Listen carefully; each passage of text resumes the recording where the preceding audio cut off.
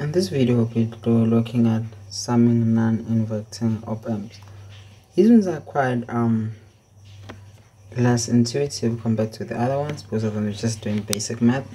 I think they'll take and make sure before you engage in the video that you have done something like superpositioning theorem that will be taking use of uh, solving this problem or deriving the equation for this specific schematic. So so with um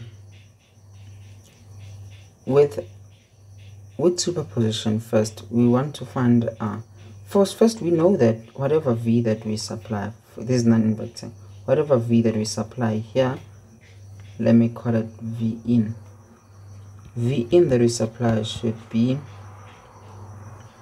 uh, should okay.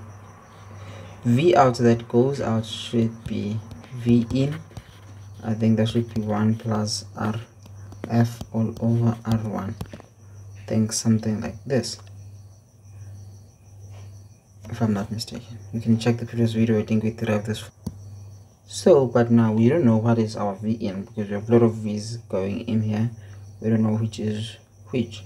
So let's just take this put it somewhere. Hopefully we'll need it in future. Let me just place it here. Remind me where i put it. Okay now we can try to solve. We're going to use superposition. First we'll assume that what if we are grounding here? What if we're grounding v2 then we'll have v in we'll have v in 1 let me call it let me call it va which is going to equals to um, I'm going to do a ratio the resistance that is left will be resistor 2 resistor 2 oh no other way around. Resistor 1 all over r2 plus r1 multiplied by the supply voltage which is 1 okay? And that is what if that that would be a condition if we grounded this one so let's put that aside. Let's try what if we grounded this side? If we grounded that side that means we'll be supplying this way. So um voltage at let me call it v b should equals to resistor 2 all over resistor 2 plus uh, resistor 1 multiplied by the supply voltage voltage. Supply voltage now should be v2 and by superposition because i said we'll be using superposition. V in the voltage goes here should equals to va plus v b. It's more of like we're assuming that this this supply is dead and then assume that this one is dead. So for v in and whatever answer that we get we sum those answers to give us the actual v in if they are both in. So now we know v in to be v in to be r1 all over r2 plus r1 v1 that's I'm subbing that here and then I have sub that here. Plus r2 all over r2 plus r1 v2 so this is our v in also on the beginning of the video we took something. This is what we started with. We started on this ground. We know this. And then let's bring it down here to use it. Let's bring this here.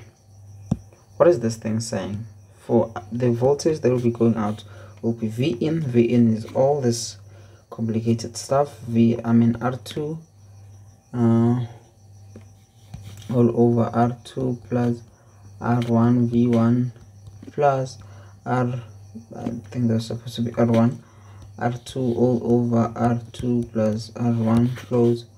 Not yet. V2 then close. And that will be open. Now we are writing. Okay let me change my color. Now we are writing this. So that will be um 1 plus rf all over r1 yes but in this case i think my r1 is r2 then i think i have to use r2 here.